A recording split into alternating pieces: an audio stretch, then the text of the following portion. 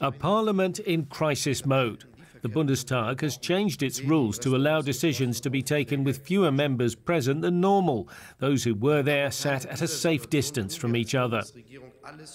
Parliamentary President Wolfgang Schäuble called on deputies to show support for the key workers who are helping to keep the country going.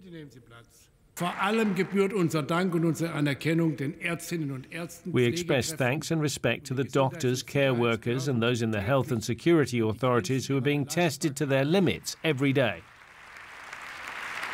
Ich denke, dass wir uns einig sind, dass I think we all agree we should include in our thanks those who, day after day, and in spite of the greater risk of infection they face, ensure that people have the supplies they need. In just one day, the Bundestag has green-lighted government plans to take on more debt this year than ever before.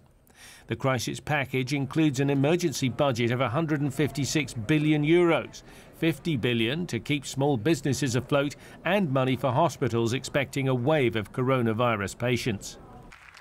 Finance Minister Olaf Scholz, standing in for Chancellor Merkel, who's at home in self isolation, acknowledged these are gigantic sums, but he said the country can afford it. Germany's strict rules on government borrowing are suspended for now. We're facing a crisis unprecedented in our post war history, greater than all those we have faced recently.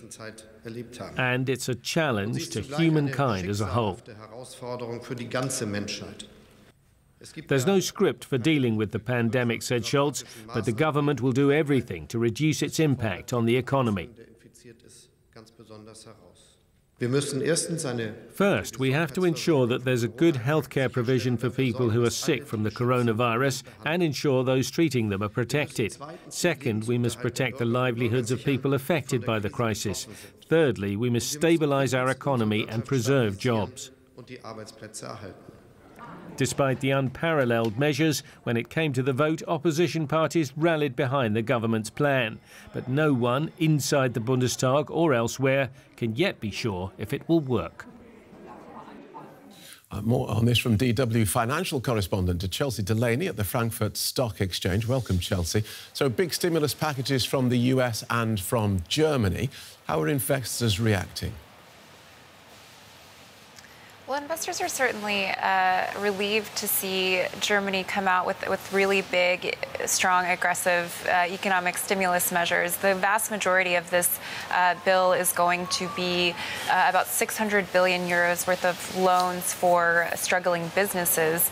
There had been some concern uh, coming into this that uh, Germany wouldn't be aggressive enough in, in providing stimulus to the economy, given its history with being really strict on unbalanced budgets. They're basically throwing throwing that out the window and saying they're going to do whatever it takes. Uh, they're also considering at this point a second wave of stimulus uh, in a few months uh, once the economy reopens. But economists say this is not a silver bullet. The economy is still going to contract no matter what because we are in, a, in a, basically a shutdown right now.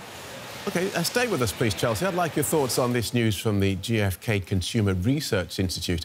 Um, they're reporting that the coronavirus pandemic has shattered German consumer confidence as millions suddenly fear for their jobs or face short time working.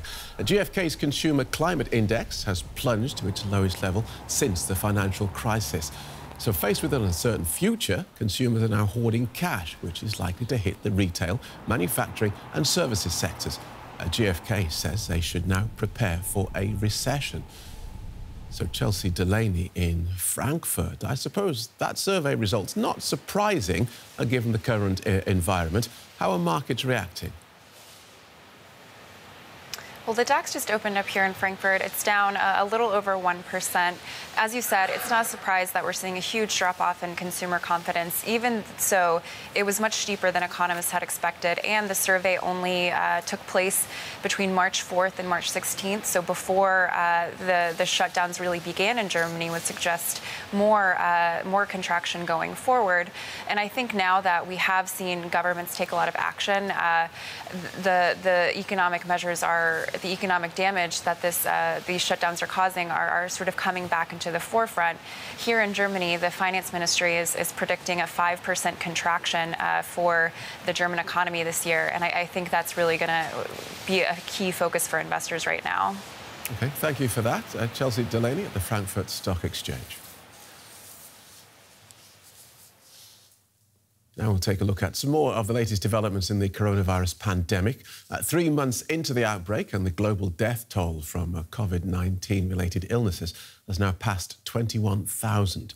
Russia is halting all flights to and from the country from Friday, and Moscow's mayor has ordered all shops except grocery stores and pharmacies to close from Saturday. Russia's also reported its first two deaths from the disease.